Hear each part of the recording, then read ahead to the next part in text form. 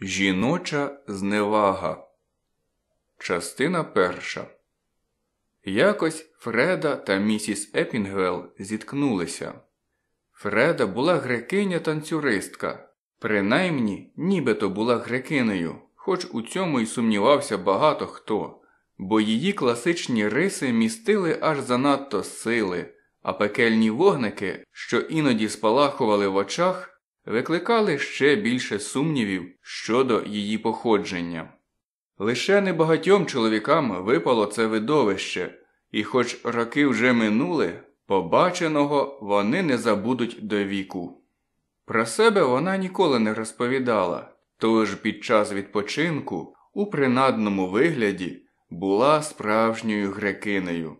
Хутра її були найрозкішніші в усьому краї від Чілкута до Сент Майкла, а її ім'я не сходило з чоловічих уст.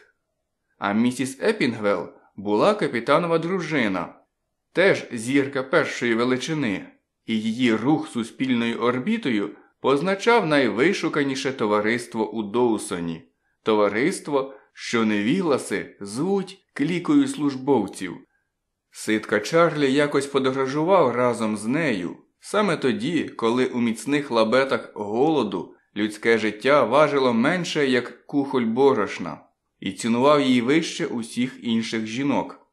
Ситка Чарлі був індіянець, його критерії були примітивні, але слова ясні, тож і вирок його не оскаржувався в жодному таборі за полярним колом.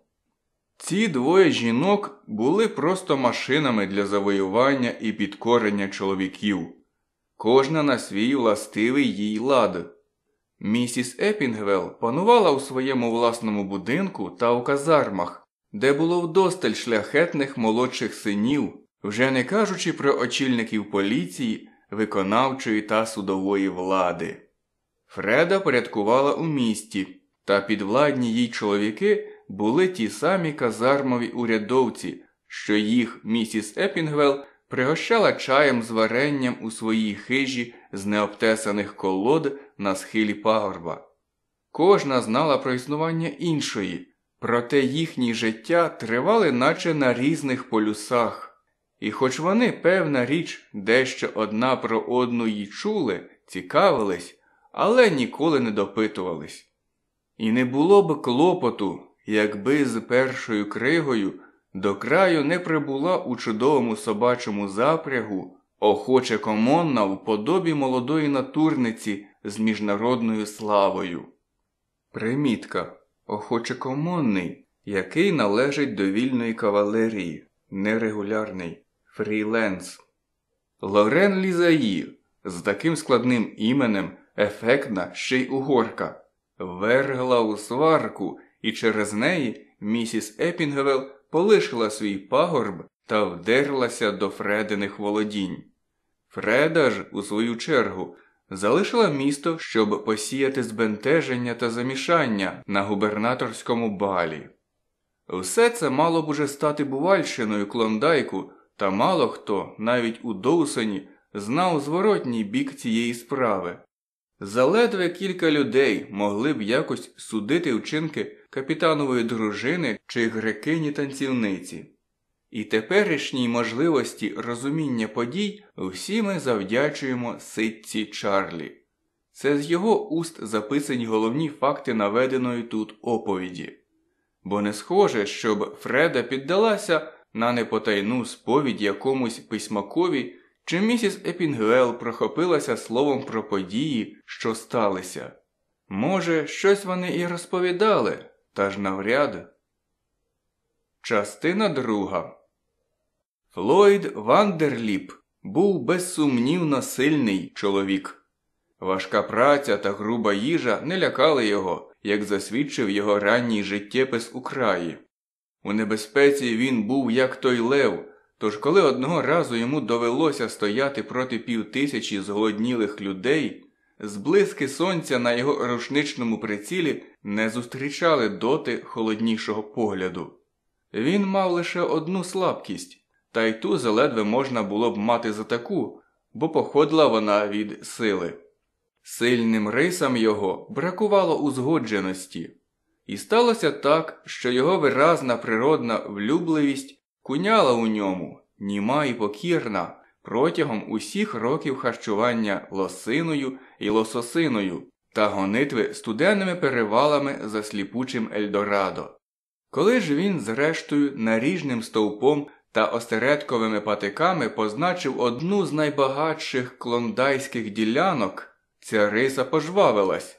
А коли посів у громаді належне місце як визнаний король Бонанзи, прокинулася і цілком опанувала.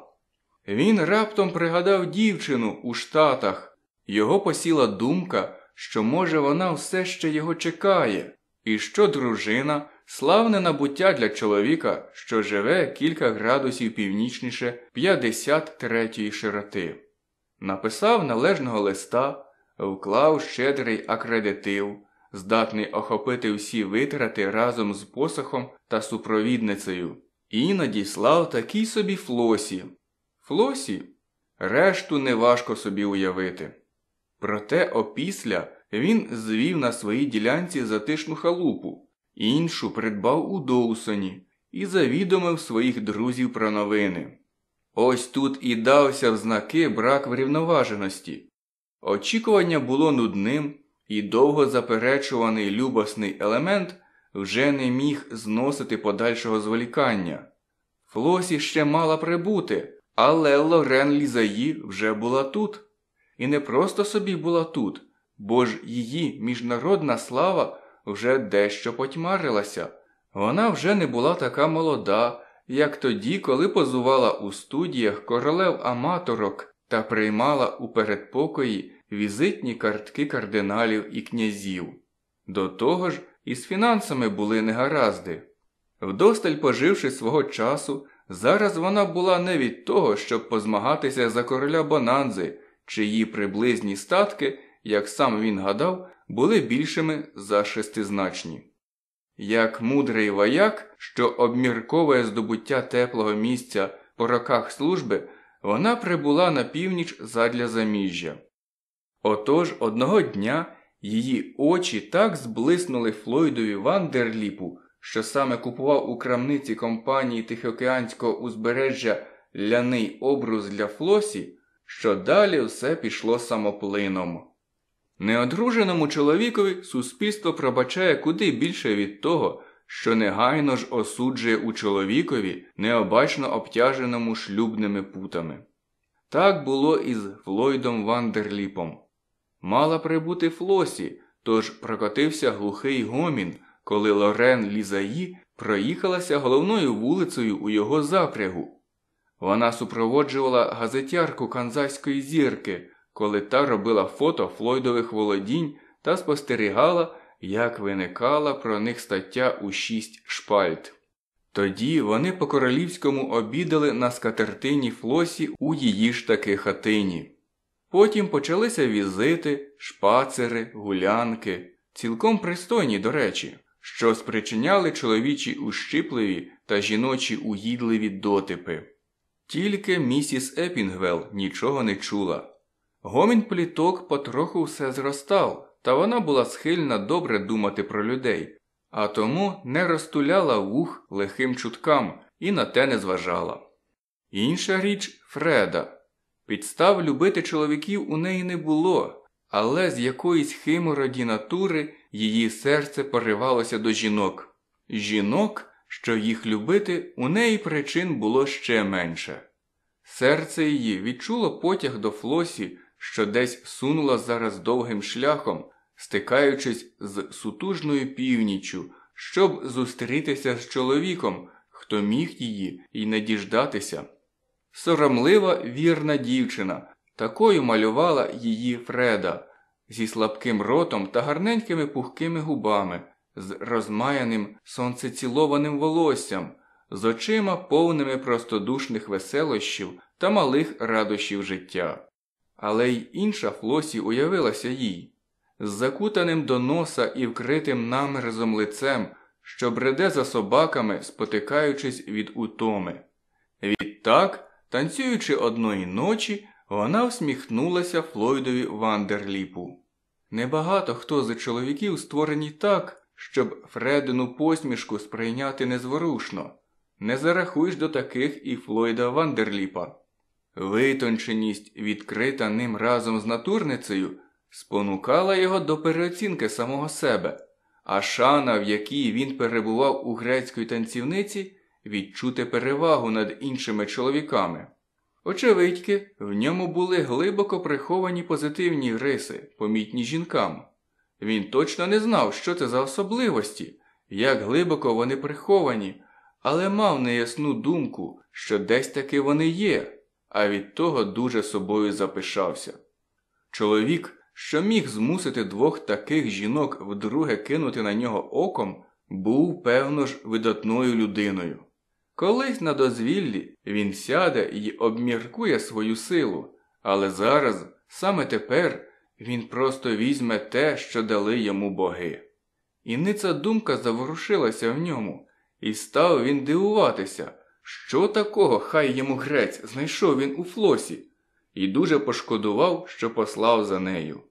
Звісно ж, про Фреду й мови бути не може. Його численні вимивки найбагатші по всій Бонанзі, а він сам шанована і відповідальна людина. А от Лорен Лізаї жінка що треба. Вона вела розкішне життя і могла б надати шляхетності його становищу та елегантності його доларам.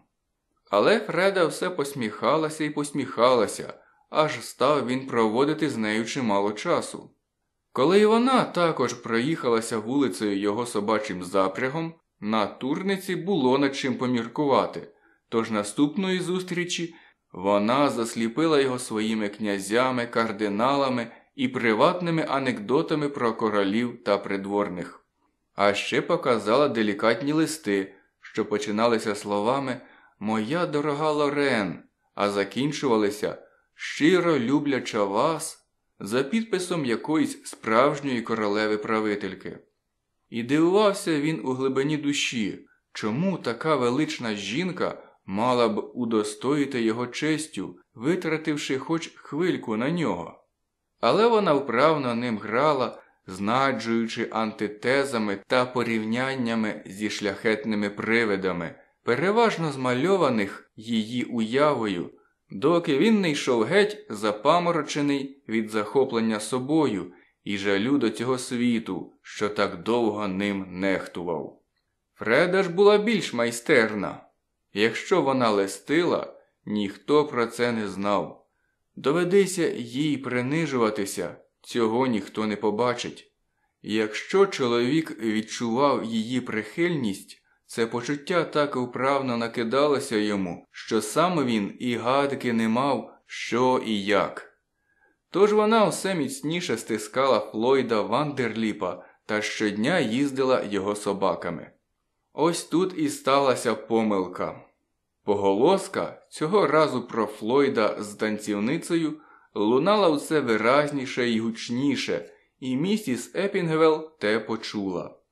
Вона теж подумала про Флосі, що плентається у мокрих мокасинах нескінченним шляхом.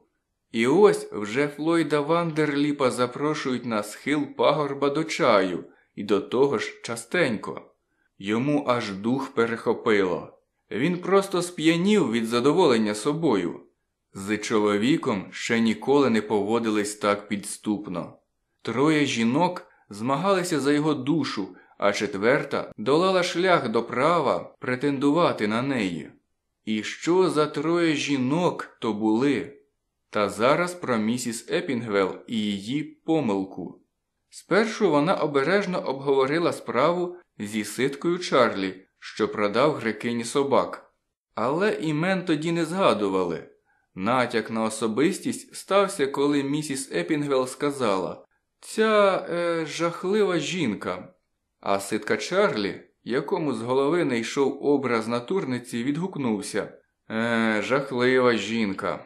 І він погодився, що то паскудство з її боку ставати на заваді чоловікові і дівчині, що мають побратися. Я певна, Чарлі, сказала місіс Епінгвелл, що то майже дівчинка, і ось вона йде на чужину, щоб, діставшись сюди, лишитися на самоті, без жодного друга. Ми маємо щось вдіяти. Ситка Чарлі пообіцяв свою поміч і пішов, роздумуючи, що має бути за погань ця Лорен Лізнаї, і які є благородні місіс Епінгвел та Фреда, виявляючи особисту зацікавленість гараздами якоїсь невідомої флосі. Місіс Епінгвел була відверта жінка. Ситці Чарлі, що якось перейшов з нею через мовчазні гори, належить слава увічнення її світлого проникливого погляду, її ясного лункого голосу, її геть абсолютної щирості. Губи її дещо манірно самі собою вигиналися для наказу, і зазвичай вона відразу переходила до суті. Але, визнавши характер Флойда Вандерліпа, вона на таке не зважилася, проте не злякалася спуститися у місто до Фреди. Місіс Епінгвелл йшла донизу серед ясного дня до господи танцюристки. Як і її чоловік капітан, вона стояла вище за дурні пересуди. Вона бажала бачити цю жінку, говорити з нею і не знала жодної з підстав, чому їй не слід цього робити. І тому упродовж аж цілих п'яти хвилин стояла у снігу біля дверей грекині при морозі за 60, домовляючись з покоївкою. Примітка щодо морозу за 60 градусів. У США температуру прийнято вимірювати за шкалою Фаренгейта, згідно якої лід тане при плюс 32 градусах, вода кипить при плюс 212. Мінус 65 градусів за Фаренгейтом це мінус 51 градус за Цельсієм. Після чого мала задоволення дістати от коша і, повертаючись вгору на пагорб, гнівно в душі переживати таке нехтування собою. Та хто така ця жінка, щоб відмовляти мені у побаченні з нею? питала вона себе. Можна подумати, це вона була простою танцюристкою, яку не допустили до дверей капітанової дружини, а не навпаки. А між тим Фреда, якби зійшла на пагорб до неї, байдуже у якій справі, була б гостинно прийнята біля її вогнища. Вони посиділи б і погомоніли просто як дві жінки. Місіс Епінгвел переступила через умовності і принизилася, проте ставилася до цих речей інакше, ніж жінки у місті. Зараз же вона відчувала сором, бо відкрито наразилася на таку зневагу, тож її думка щодо Фреди була недоброю. Та Фреда на таке не заслуговувала. Місіс Епінгвел зробила ласку зустрітися з нею, декласованою, проте вона, вірна традиціям свого колишнього статусу, того не дозволила. Вона ладна була боготворити таку жінку, не могла б і просити більшої втіхи, аніж приймати її у своїй хаті і посидіти, просто собі посидіти з нею якусь годину. Але її повага до місіс Епінгвел, повага до самої себе, особи поза повагою, завадила вчинити те, чого вона найбільше жадала. Усе ще не зовсім оговтавшись від нещодавнього візиту місіс Макфі, панацевої дружини, що відразу ж накинулася на неї з вихором пересторог та погроз. Вона й уявити собі не могла, що спонукало цей теперішній візит. Фреда не усвідомлювала за собою ніякої особливої провини.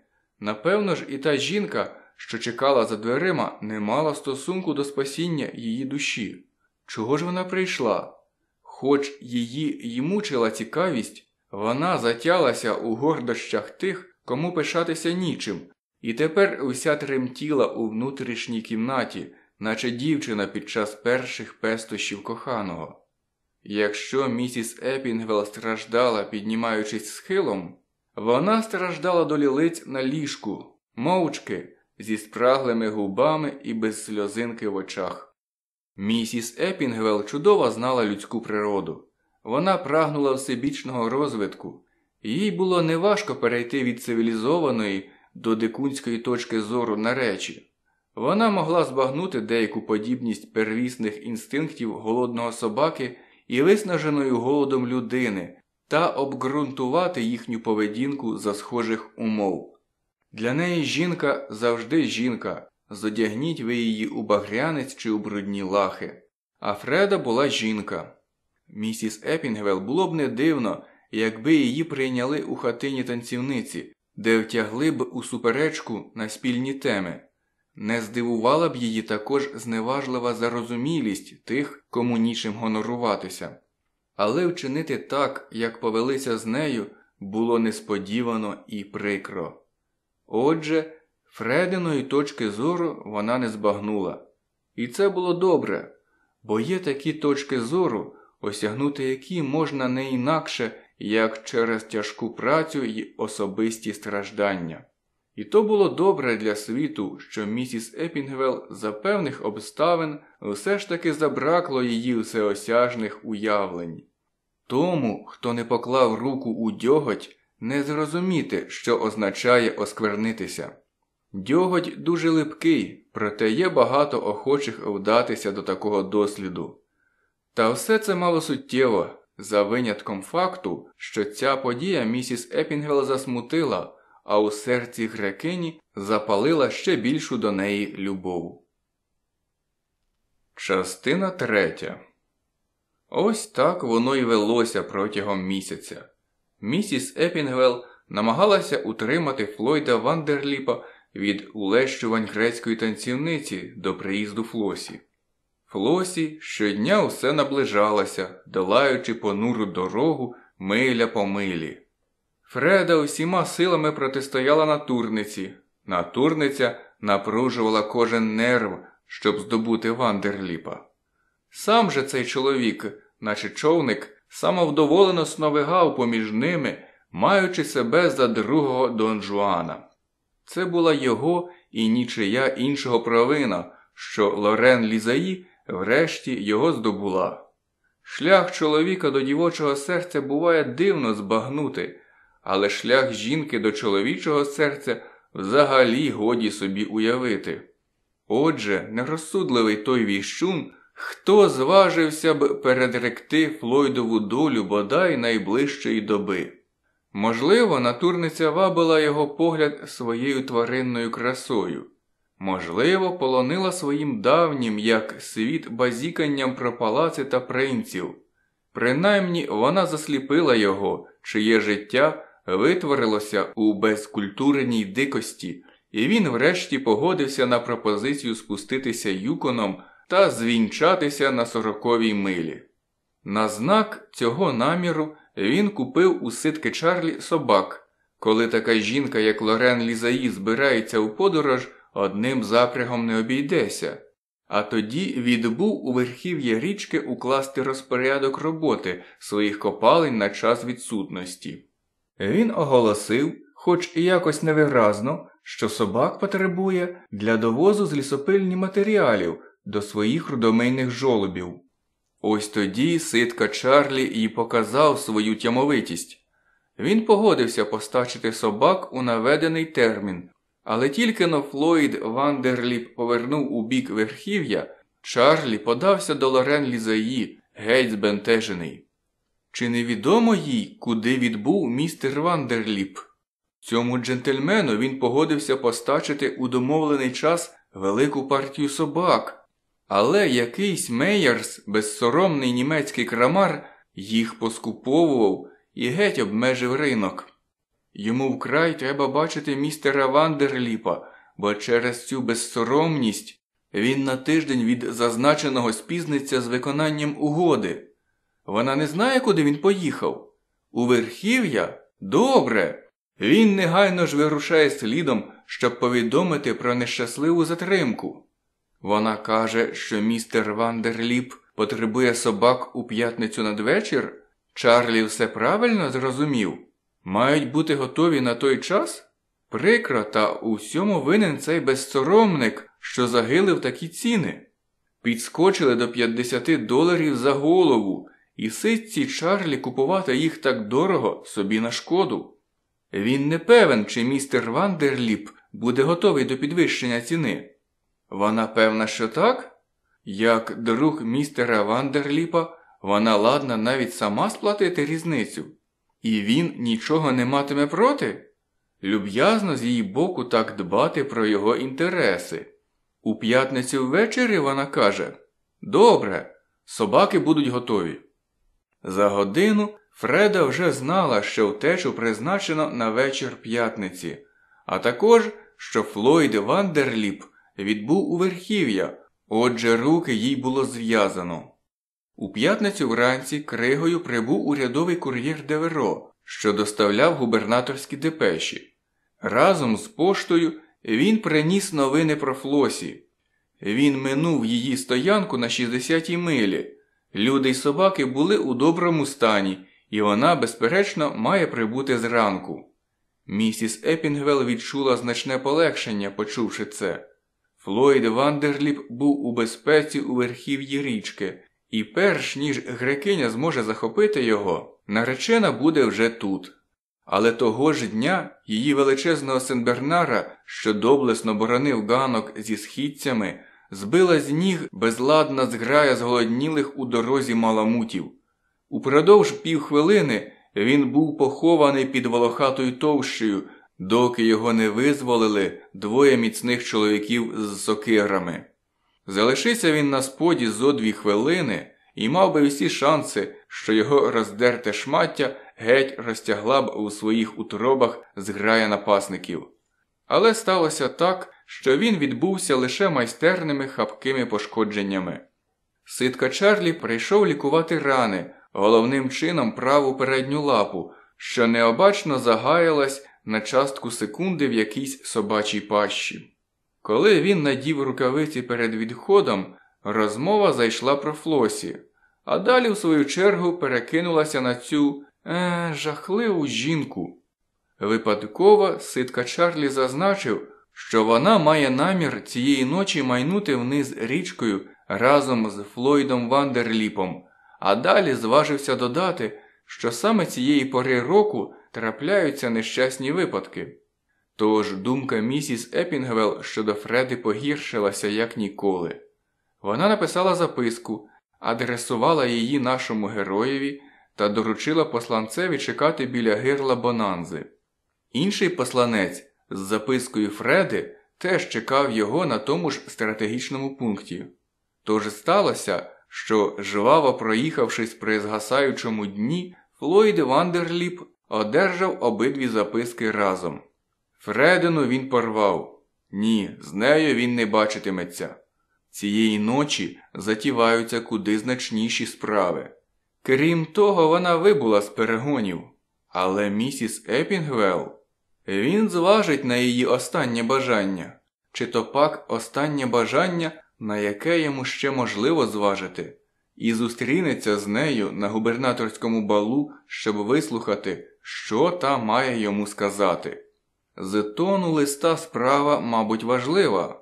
Може, він любовно усміхнувся, але думка вже промайнула. Хай йому грець, ну й таланить же йому на жінок. Розвіявши шматки листа на морозі, він пустив собак розміреним підстерепцем до своєї хижі. Мав бути маскарад, і йому ще треба було викрепти свій костюм, що він одягав зо два місяці тому в оперу. А ще треба було поголитися і поїсти. Отож, з усіх зацікавлених осіб він єдиний не знав про наближення Флосі. Тримай собак біля ополонки за шпиталем, рівно опівночі. Не підведи мене, сказав він ситці Чарлі, який зазирнув повідомити, що для повного реєстру бракує лише одного собаки, та й на того очікує десь за годину. Ось мішок, ось ваги. Зваж собі піску, скільки треба, і відчепись. Мені ще треба підготуватися до балу. Ситка Чарлі зважив свою платню і пішов, маючи при собі листа до Лорен Лізаї, зміст якого, як він собі й гадав, стосувався зустрічі точно опівночі біля ополонки за шпиталем. Частина четверта. Двічі Фреда посилала гінців до казарм, де танці були у розпалі і двічі вони поверталися без відповідей. Тоді вона вчинила те, що могла зробити тільки Фреда, наділа свої хутра, приховала машкарою обличчя і сама подалася на губернаторський бал. Так сталося, що кліка службовців встановила звичай, правда, аж ніяк не оригінальний, якому віддана була здавна. То був дуже мудрий звичай, бо він забезпечував захист їхнього жіноцтва та сувору добірність на їхніх гулянках. Коли б то не влаштовували маскарад, обирали й комітет, єдиним призначенням якого було стояти у дверях і зазирати під кожну личину без винятку. Більшість чоловіків не зголошувалися до цього комітету, проте саме послуг тих, хто найменше прагнув такої честі, над усе й потребували. Священник був не надто обізнаний з обличчями та посадами городян, щоб знати, кого впускати, а кого завертати. Не краще обізнані були й ті кілька гідних джентльменів, що нічого ліпшого й не бажали, як прислужитися на цій посаді. Щоб посісти жадане місце, місіс Макфі ладна була ризикнути спасінням своєї душі, і вона справді ризикнула, коли одна відома трійця увійшла в неї під носом і добряче нашурубурила, перш ніж їхні особи було викрито. Відтоді обирали тільки придатних, що відгукувалися дуже неохоче. Саме того вечора на дверях стояв принц. Його спонукали примусом, і він ще не оговтався від подиву, як це так він дав згоду взятися до справи, що обіцяла йому втратити половину друзів лише на догоду іншій їх половині. Ті троє чи четверо чоловіків, що їм він відмовив, були його знайомці з копалень та подорожей, добрі хлопці, та не зовсім підгожі для таких вишуканих штук. Він саме добирав служний привід зректися варти за першої ж нагоди, коли на світло легкою ходою увійшла жінка. Фреда! Він міг заприсягтися в цьому лише з вигляду її хутер, навіть якби не знав так добре цю поставу голови. Її появи сподівалися найменше. Він вважав її більш розсудливою, щоб не наражатися на приниження і відмову, або, якщо увійде, на жіночу зневагу. Він похитав головою, навіть не вдивляючись, надто добре знав її, щоб помилитись. Та вона усе насувалася. Швидко підняла чорну шовкову тясьму і так само швидко спустила. Промайнуло її лице. Якусь нескінченну мить він у нього дивився. Неспроста в краю виникла поголоска, що Фреда грає чоловіками, як дитина мильними бульками. Не зранивши й слова, принц відступив осторонь, і за якийсь час можна було бачити, як він гаряче та недоладно складав повноваження, що виконав несумлінно. Жінка, гнучка з виду, струнка, проте з розміреною силою у кожному русі, то зупиняючись коло одного гурту, то озираючи інший, спричинила безупинне заворушення серед бенкетарів. Чоловіки, саме ті чоловіки, хто у комітеті при вході стали б у нагоді, впізнавали її хутра й дивувались, та не схильні були зчиняти галас. Інша річ жінки. Їхні очі більш досвідчені в особливостях статури, манері поводитись, і вони знали, що ця постать належала до невідомих їм, так само, як і хутра. Місіс Макфі, з'явившись з кімнати для вечері, де вже все було готове, перехопила крізь прорізи в шовковій масці цей проблиск шаленого пошуку в очах і здригнулася.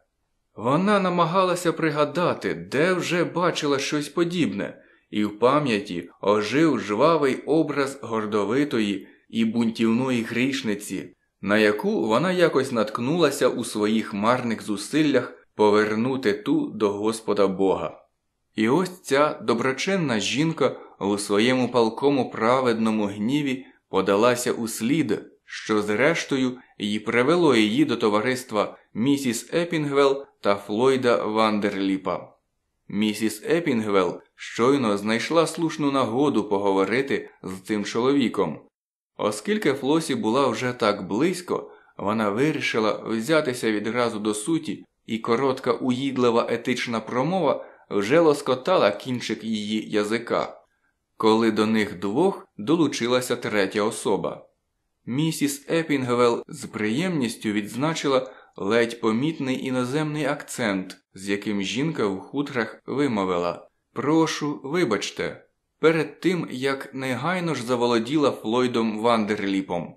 Тож чемним уклоном вона дала згоду їм обом відійти трохи осторонь. Ось тут і опустилася праведна рука місіс Макфі. Довершенням цього нападу була зірвана з враженої жінки чорна маска. Прекрасне обличчя і блискучі очі відкрилися безмовному здивуванню тих, хто дивився в той бік, а дивилися ж бо всі. Флойд Вандерліп дуже збентежився.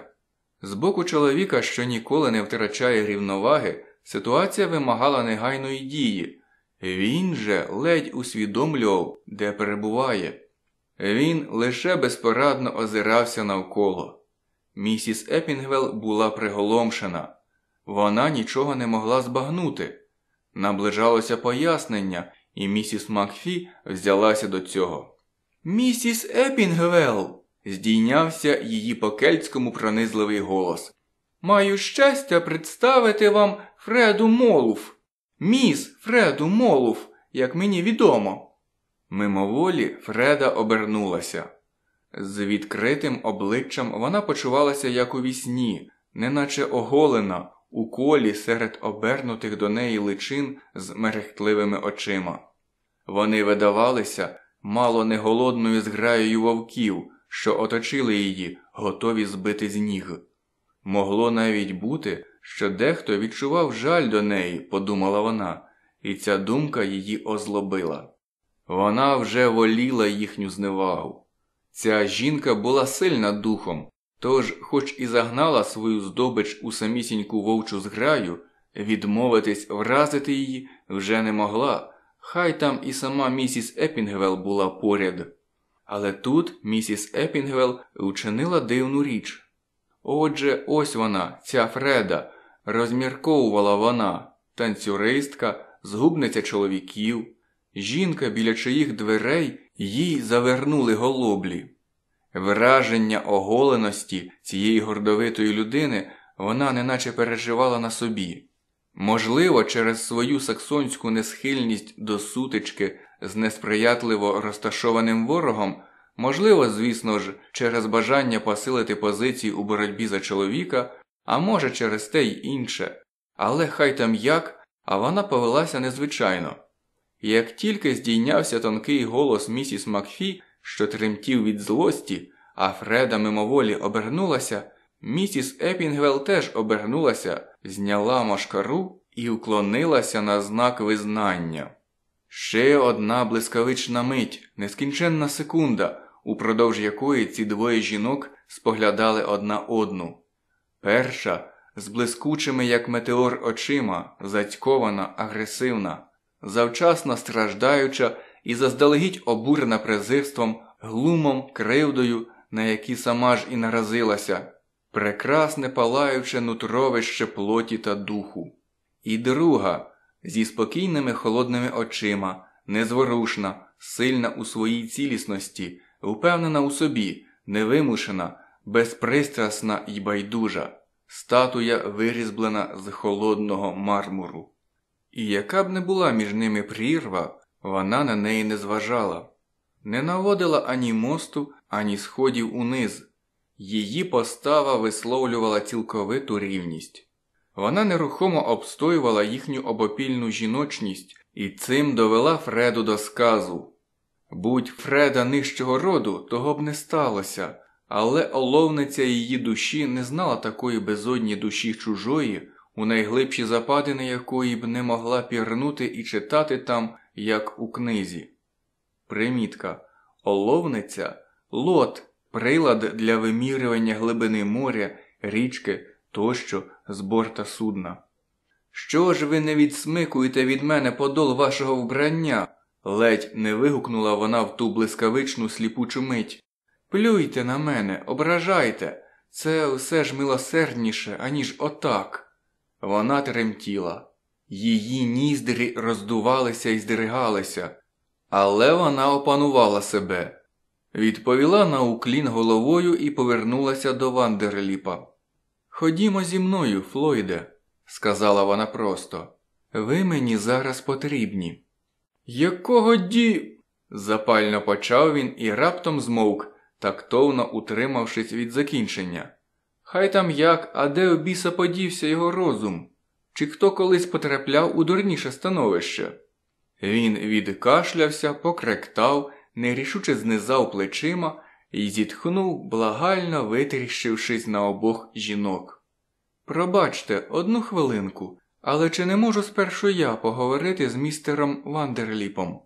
Кожен ритм тихого, схожого на флейту голосу місіс Епінгвелл стверджував волю. Флойдів погляд виказував вдячність. Він бо погодився б охоче. Мені дуже прикро, відмовила на те Фреда, але ж часу обмаль. Він має йти просто зараз. Загальноприйнятні слова легко падали з її уст, та вона не могла про себе не всміхнутися з їхньої недоладності та кволості. Вона радше б заволала. Але ж, міс Молуф, хто ви така, що дозволяєте собі привласнити містера Вандерліпа та керувати його діями? Тоді Флойдове обличчя прояснилося від полегшення, і він схвально кивнув довіритись місіс Епінгвелл, і та його витягне. Фреда цього разу зустріла гідну суперницю. Я, я. Фреда вагалася, але тут жіночий розум підказав їй хапати бика за роги. А хто ви така, що ставите подібні запитання? Я? Я місіс Епінгвелл і. Отож, різко обірвала її Фреда. Ви капітанова дружина, а ваш чоловік капітан, а я лише танцюристка. Що ж вам до цього чоловіка? Нечуване зухвальство. Місіс Макфі розсердилася і приготувалася до дій, та місіс Епінгвелл одним поглядом затулила їй рота і взялася до нової атаки. Оскільки міс Молуф, здається, має до вас претензії, містере Вандерліп, і аж надто поспішає, щоб дарувати мені кілька секунд вашого часу, я змушена звернутися безпосередньо до вас. Чи можу я поговорити з вами наодинці прямо зараз? Щелепи місіс Макфі, клацнувши, стулилися. Неприємна ситуація мусила так розв'язатися. Так, е, тобто, певно ж, белькотів чоловік. Звичайно, звичайно, вже експансивніше додав він, сподіваючись на своє визволення. Чоловіки то лише стадні хребетні, приручені і навчені, тож найімовірніше грекиня свого часу мала справу із дикішими людськими бестіями чоловічої статі, бо коли вона обернулася до Флойда, її очі палали такими пекельними вогниками, як у вбраної у блискітки приборкувачки лева, що раптом перейнявся згубною думкою свободи волі. І звір у чоловікові заплазував перед батогом. Тобто, так би мовити, е, потім. Завтра, місіс Епінгвелл. Так, завтра. Саме це я мав на увазі. Флойд заспокоював себе тим, що залишися він тут, то потім клопоту не обереся. До того ж, йому треба поспішати на зустріч, призначену біля ополонки за шпиталем. Та боже мій, він ніколи не віддавав Фредді належного. Що за розкішна жінка? Буду вдячна вам за мою маску, місіс Макфі. Ту пані саме як заціпило, і вона зараз же повернула маску. На добраніч, міс Молуф. Місіс Епінгвелл навіть у поразці була велична. Фреда відповіла взаємністю, хоча й ледве подолала спонуку обхопити її коліна і прохати прощення. Ні, не прощення, а чогось іншого. Вона й сама не знала чого, хоч і дуже бажала. Флойд хотів було взятися з нею попід руки, але ж Фреда вразила жертву серед самісінької зграї, і те, що схиляло королів волочити переможених позаду колісниці, змусило і її йти до дверей на самоті. Він же подався за нею назирці, намагаючись відновити душевну рівновагу. Частина п'ята Був лютий холод. За чверть милі звивиста стежка привела їх до хатини танцівниці. За цей час замерзле дихання вкрило матовою опастю її обличчя, а його пишні вуса так окрижніли, що болісно було говорити. У зеленавому світлі сонячного сяйва було видно захололе живе срібло кульки термометра, що висів за дверима. Жалісний хор тисячі собак волав про їхні одвічні кривди, благаючи співчуття від байдужих зірок. Не рухався жоден подмух вітру. Собакам не було ніякого укриття від холоду, жодної путньої пролазки, щоб затасуватися у затишному закутку. Мороз був повсюди, і вони лежали на дворі, час від часу потягуючи їхні одубілі в дорозі м'язи та здіймаючи протяжне вовче виття. Чоловік і жінка спершу не говорили. Доки покоївка допомагала Фреді зняти верхній одяг, Флойд підкидав дрова у вогонь, а коли покоївка вже відійшла у внутрішню кімнату, він ще сидів, схилившись над грубою, діловито розморожуючи лід над верхньою губою. Після того скрутив цигарку і ліниво розглядав Фреду крізь клуби запашного диму. Вона крадькома зиркнула на годинник північ за півгодини. Як їй затримати його? Чи сердиться він за те, що вона вчинила? Який його настрій? І як з ним краще поводитися їй? Не те, щоб вона вагалася, ні, ні. Якщо знадобиться, вона затримає Флойда навіть під прицілом пістолета, аж поки ситка Чарлі зробить свою справу, а Деверо свою. Способів було багато, і з усвідомленням цього факту зростала її зневага до чоловіка. Вона обіперла голову на руку, і її сподобило швидкоплинне видіння її власного дівування з його понурим, поворотним і трагічним згасанням. На мить їй спало на думку дати йому прочухана для науки. Боже, тільки ницішого за людську тварюку звіра не розчулила б ця історія, розказана так, як могла б її переповісти Фреда. Але ні. Він того не заслужив, не був він вартий спонуканого битим болю. Свічка стояла просто за нею, тож, поки вона пригадувала ці шанобливо ганебні для неї речі, він саме милувався прозорою рожевістю її вуха. Вона підмітила його погляд, уловила настрій і повернула голову так, що постав суцільний профіль її обличчя, а профіль цей був аж ніяк не найменшим з її достоинств. Їй було не сила змінити дані природою обриси, вони й так були дуже гарні, але вона давно їх вивчила, і, хоч вони не надто й потребували того, при нагоді сприяла їх показу в усій красі. Свічка замерехтіла. Фреда нічого не могла робити незграбно, та це не завадило їй трохи змінити природу на краще, коли вона простяглася вперед і спритно зняла нагар з червоного гнота осеред жовтого полум'я. Знову вона обіперла голову на руку, цього разу замислено розглядаючи Флойда, і кожен чоловік дістає задоволення, коли вродлива жінка так на нього дивиться. Вона не надто квапилася з розмовою, якщо йому до вподоби флірт, їй це на руку. Йому було дуже комфортно улещувати нікотином свої легені та споглядати її. Тут було дуже затишно і тепло, а там, біля ополонки, починалася дорога, яку він незабаром мав долати студенними годинами поспіль. Він усвідомлював, що належало би розсердитися на Фреду за влаштовану сцену. Та він щось ані трохи не відчував гніву. Так, неначе якби не ця місіс Макфі, то не було б і ніякої сцени.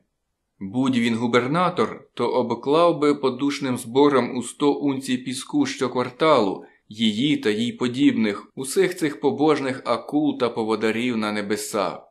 А Фреда й справді повелася дуже елегантно, і до того ж не поступилася місіс Епінгвелл ніколи не віддавав належного витримці цієї дівчини. Він спроквола оглядав її час від часу, зустрічаючись з поглядом, за глибокою щирістю якого не міг угадати прихованої глибше глузливої посмішки. Господи, хіба ж не гарно вона вбрана? Цікаво, чому вона на нього так дивиться? чи теж хоче взяти з ним шлюб? Цілком можливо, вона ж не одна така. Її зовнішність чи це не перевага? Та й молода, молодша за Лорен Лізнаї. Їй не більше 23-4 років, 25 щонайбільш. І вона ніколи не стане гладкою. Це всяк одразу вгадає. Втім, цього він не міг сказати про Лорен. Вже вона напевно розповніла відтоді, як служила натурницею. Га, тільки но вони рушать, він то збавить їй тук, поставить на снігоступи грасувати стежку собакам. Цей засіб ще ніколи не схибив. Та раптом він перекинувся думкою до палацу під млосним середземноморським небом. Як то буде з Лорен опісля? Ані холоду, ані мандрів, ані голоду в ряди годи та на розраду нудьги, і вона щонедень все старішатиме і гладшатиме. Натомість ця дівчина Фреда. Він зітхнув, мимовіль жалкуючи, що дав маху народитись не під турецьким прапором, і перенісся знов на Аляску. Ну, промовив він. Обидві годинникові стрілки вказували рівно опівніч. Давно пора вже було спуститися до ополонки. Ох! стрепенулася Фреда і зробила це так привабливо, що ввела його в захват, як і одвіку принаджували чоловіків жінки. Вже як чоловіка змусили повірити, що жінка, замислено на нього дивлячись, геть забулась в мріях про нього, він має бути украй холоднокровною особою, щоб, стишивши свій пал, бути на зерці і триматися подалі. Я саме запитував себе, навіщо ви хотіли мене бачити, пояснив він, підсуваючи свій стілець до столу ближче до неї. Флойде, вона пильно подивилася йому в очі. Я втомилася від усього цього. Я хочу звідси поїхати. Я не дочекаюся, коли скресне річка. Я не доживу до цього. Я помру. Я певна. Хочу все покинути і поїхати геть, негайно. З німим благанням вона накрила його руку своєю, а він, повернувши долоню, її затиснув. Ще одна, подумав він, ну прямо чіпляється на нього. А Лорен, мабуть, не надто потерпатиме, як ще трохи остудить ноги біля ополонки. То що ж? промовила Фреда, але цього разу тихо і стривожено. Не знаю, що й казати, поквапився він з відповіддю, додавши про себе, що все посувається швидше, ніж він очікував. Нічого кращого я б і не бажав, Фредо, вам це добре відомо. Він міцно притиснув свою долоню до її. Вона кивнула. Чи варто дивуватися, що вона зневажає цю породу? Але бачте, я. я заручений. Ви, звичайно, це знаєте, і дівчина моя їде сюди, щоб одружитися зі мною. Не знаю, як мені спало на думку освідчитись їй, та відтоді багато часу спливло, а я був юнак запальний. Я хочу поїхати звідси геть, куди-небудь, провадила далі вона, нехтуючи перепоною, яку він щойно винувато звів. Я переглянула усіх знайомих чоловіків і дійшла висновку, що. що.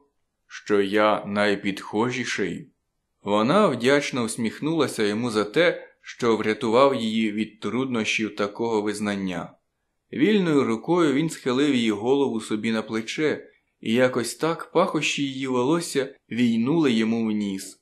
Тоді він виявив, що там, де дотикаються їхні долоні, все бився, бився, бився їхній один на двох пульс. З фізіологічної точки зору таке явище неважко зрозуміти, та для чоловіка, що вперше робить це відкриття, воно напрочуд дивовижне. Свого часу Флойд Вандерліп більше стискав держаки лопат, аніж жіночі руки, тож це переживання було зовсім нове і принадно незвичне. А коли Фреда в нього на плечі повернула голову і її волосся легко терлося об його щоку, аж поки його очі не зустрілися прямісінько і зблизька з її очима, ніжно виблискуючими, то хто ж винен, що він цілком втратив над собою владу? Невірний Флосі, чому ж бути вірним Лорен? Навіть якщо жінка все ще хвилює його, це не привід поспішати з рішенням. Ну, звісно, в нього сила селенна грошей, і Фреда саме та дівчина, щоб їх прикрасити. Така дружина буде іншим на заздрість, але не квапитись, він має бути обачним. Палацами ви не переймаєтеся, чи не так? спитав він. Вона похитала головою. А я до них мав палку пристрасть, але нещодавно поміркував і дійшов думки, що від життя у палацах, мабуть, погладшаєш, розім'якнеш, зледачієш. Так, деякий час це, гадаю, приємно, але швидко набридає, поквапилася вона запевнити. Світ гарний, але життя має бути різнобічне. Погарувати та повештатися трохи, а тоді десь відпочити, геть до південних морів на яхті, тоді оглянути Париж, провести зиму у Південній Америці, а літо у Норвегії, кілька місяців в Англії, у доброму товаристві, доконче у якнайкращому, а потім гей го! На собаках та санях до берегів Гудзонової затоки. Розмаїтість, знаєте, сильний чоловік, як ви, повний життя і руху, не витримав би цілий рік у палаці. Усе це добро для розніжених чоловіків, а ви не створені для такого життя. Ви мужній, надмірно мужній. Думаєте? Тут і думати нічого, я знаю. Ви колись помічали, як легко вам зацікавити жінку? Його наївне вагання було чудове. Дуже легко. А чому? Бо ви мужній. Ви вражаєте найзаглибленіші струни жіночого серця. До вас хочеться пригорнутися, великого, м'язистого, сильного, відважного, словом тому, що ви дійсно чоловік. Вона зиркнула на годинник. Минуло вже півгодини від призначеного. Ситці Чарлі вона встановила межу у 30 хвилин, і тепер вже не мало значення, коли прибуде Деверо. Її справу зроблено. Вона підвела голову, щиро розсміялася, звільнила свою руку і, здіймаючись на ноги, гукнула покоївку.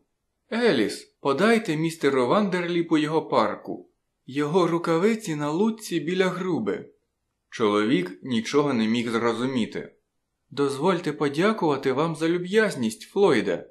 Дуже мило з вашого боку приділити мені стільки безцінного для мене вашого часу. Поверніть ліворуч, як вийдете з хати, то найшвидший шлях до ополонки. Добраніч, я йду спати. Флойд Вандерліп ужив міцних слів, щоб висловити своє замішання й досаду. Еліс не полюбляла чоловічу лайку, тож упустила його парку на підлогу, а рукавиці кинула на неї зверху. Тоді він рванувся до Фреди, а та зіпсувала собі відступ до внутрішньої кімнати, спотикнувшись через парку. Він грубо схопив її за п'ясток і підняв, та вона лише розсміялася. Чоловіків вона не боялася. Хіба вони вже не скоїли з нею найгіршого, і хіба вона все таки не вижила? Не грубіяньте, сказала вона врешті. Добре поміркувавши, тут вона глянула на затиснуту руку. Я вирішила поки що не йти спати. Тож сідайте зручніш, замість робити з себе посміховисько. Хочете щось запитати? Так, пані, і поквитатися теж. Він усе ще тримав її. Що ви знаєте про ополонку? Що ви мали на увазі, коли. Втім, дарма. Одне запитання за один раз. О, не так багато. Ситка Чарлі мав там призначену зустріч з кимось, кого ви, мабуть, знаєте, і щоб не перейматися присутністю на ній такого знаного звабника, як ви, вдався до моєї чуйної допомоги. Ось і все. Зараз вони вже відбули з добрих півгодини тому. Куди? Річкою вниз і без мене? Але ж він індіянець. Ви ж знаєте, що на смак товариш не всяк, а жінка й поготів. Але як виглядаю я у всій цій справі? Втратив собак, вартих чотирьох тисяч доларів, ні в року собі жіночку і не отримав нічого натомість. Опріч вас, додав він, наче запізно зметикувавши. За цю ціну ще й дешево. Фреда знизала плечима. Можете збиратись і ви. Я піду позичити пару собачих запрягів, і ми відразу вирушаємо. Мені дуже шкода, але я йду спати. Спакуєтесь, якщо побачите в цьому свою вигоду. Йдете ви спати чи ні, а як я з собаками буду на дворі, їй бо, ви сядете в сани. Може, ви й дурили мене, та я на ваш блеф не зважу, бо все мав за правду. Чуєте мене? Він так стиснув її зап'ястя, що аж заболіло, та на її губах все зростала посмішка, і вона, здавалось, прислухалася до якогось звуку назовні. Тоді почулося брязкання собачих дзвоників, і чоловічий голос крикнув Хо! коли сани звернули і під'їхали до хатини. Тепер ви дозволите мені піти спати? Говорячи це, Фреда розчахнула двері. У теплу кімнату війнуло морозом і на порозі, задягнута у витерті в дорозі хутра, по коліна оповита клубами пари на тлі північного сяєва, нерішуче постала жінка. Вона зняла шийницю і засліплено моргала на бліде світло свічки. Флойд Вандерліп пошкандибав уперед. Флойде. полегшено й радо крикнула вона і втомлено кинулася назустріч. Що лишалося, як не розцілувати цей жмут хутер? І таки гарненька дівиця була в тому оберемку, що тулилася до нього, зморена, але щаслива. Добре ти зробив, мовила ця купа хутер, що послав по мене містера Деверо зі свіжими собаками, а то б я до завтра не прибула. Чоловік скоса спантеличено поглянув на Фреду, а тоді його осяяло. А хіба не люб'язно вчинив Деверо, що поїхав? Ти вже не міг довше чекати, так, милий. Флосі пригорнулася ближче. Так, мені вже дещо не терпілося, жваво визнав він, водночас притягуючи її, аж поки ноги не відірвалися від підлоги, і поніс на двір. Тієї ж ночі одна нез'ясовна річ трапилася з преподобним Джеймсом Брауном, місіонером, що жив серед тубільців кілька миль юконом униз та доглядав, щоб ті простували своїми стежками до раю білої людини. Його розбуркав від сну незнайомий індіянець, що віддав йому на опіку не лише душу, а й тіло жінки, після чого сам швидко поїхав. Жінка була гарна та пишна, але розгнівана, і в люті неподобні слова спадали з її вуст. Це приголомшило пана Превелебного, бо він був ще юний і присутність її могла б виявитися згубною в очах простодушної його пастви, якби жінка не почимчикувала собі пішки в Доусон, тільки но засірів ранок. Потрясіння прийшло в Доусон багато пізніше, коли настало літо, і мешканці вшановували якусь королівського роду вінзорську даму, стоячи вздовж берега Юкона та спостерігаючи, як Ситка Чарлі, зблискуючи веслом, підвівся у каное і першим перетнув лінію. У цей день перегонів місіс Епінгвелл, що вже багато зрозуміла і багато про що вже забула, вперше після балу побачила Фреду. Прилюдно зауважте, нехтуючи суспільними нормами моралі, як висловилася місіс Макфі. Вона підійшла до танцівниці і простягнула їй руку. Спершу, за спогадами тих, хто все це бачив, дівчина відсахнулася, потім вони обмінялися кількома словами, і Фреда, велична Фреда, не витримала і розплакалася на плечі капітанової дружини. Доусонцям не дано було знати, чому місіс Епінгвелл так бажала перепросити у грецької танцівниці, але вона вчинила це прилюдно, що було негоже. Було б недобре забути про місіс Макфі. Вона взяла каюту на перший же пароплав, що відходив. З собою вона повезла теорію, розроблену нею довгими темними, самотніми і безсонними ночами. Її висновок був, що північ така затята в гріхах, бо там надто холодно. Страх пекельного вогню не прищепиш у крижаній труні. Може, це й надто категорично, та вже така теорія місіс Макфі. Кінець аудіокнижки. Запис здійснено для сайту гуртом.ком 14 квітня 2018 року.